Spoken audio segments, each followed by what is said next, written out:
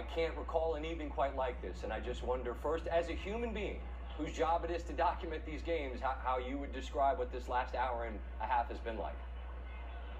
It's hard uh, because, like you guys have said, this is a this is a human being, and all you can really think about is, you know, I hope I hope that guy is okay. We we've seen players go down with head injuries before, and uh, as horrible as that may sound, we've grown accustomed to it. Seeing guys take hard hits, uh, see them stay down for a little while, get back up, give the thumbs up, and mm-hmm. and that's all we were all hoping for was that that Damar Hamlin was going to get up and that he was going to get on in that ambulance. and He was going to give us a thumbs up, and we were all going to know that he was okay. And, and, and when that didn't happen, I think this entire stadium was just devastated. I mean, I mean, right now, all I can really think about is is that player, his teammates, just seeing the agony on their faces, the concern on their faces. They're scared for him right now, and they should be.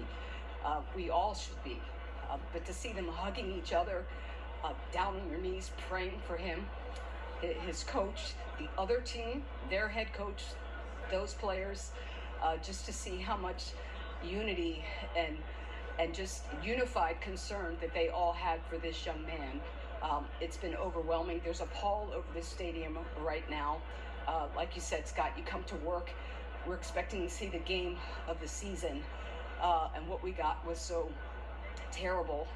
But that doesn't really matter. All that really matters is uh, is Damar Hamlin and his family, and we just can't say it enough that we hope that he's okay.